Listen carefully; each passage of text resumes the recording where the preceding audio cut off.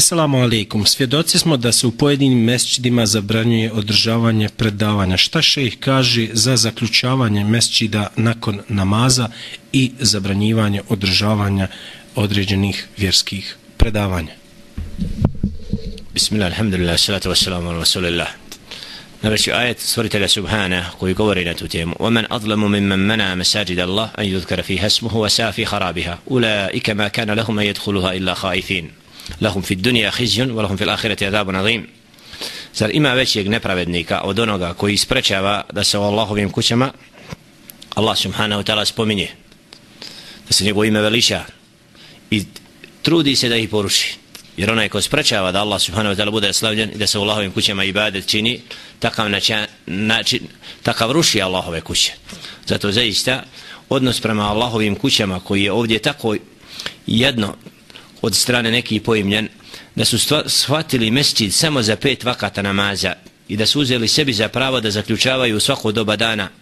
i noći mesčid kada im se svidi takvi su neodgovorni prema Allahovim kućama i takvi nisu dostojni da brinu o Allahovim kućama nego oni robovi koji će Allahove kuće otvoriti da budu na usluzi vjernicima i vjernicama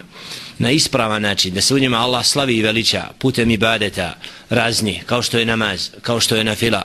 kao što su dersovi i slično oživljavanja mesida u tome, zaista onaj ko se usuprostavlja tome izaziva na sebe Allahovu sržbu i Allahovo proklestvo i takav treba da se boje Allahove kazne,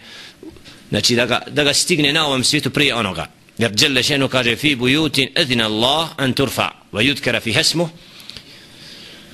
يسبه له فيها بالغدو والآسال رجال لا تلهيهم تجارة ولا بيع عن ذكر الله وإقام الصلاة وإيتاء الزكاة والله بهم كما الله يدزولي سبحانه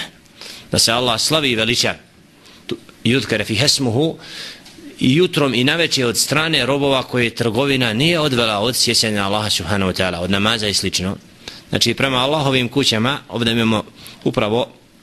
pokušaj nekoga da kao da Allahovu kuću žele privatizovati i shvatiti da je on vlasnik njen i da on može reći robu uđi i izađi kad hoćeš. Takav odnos Allahove kuće ko nije u stanju da se brine o njima treba da se povuče i ostavi robovima koji će istinski se brinuti da Allahova kuća bude uvijek na usluzi vjernicima.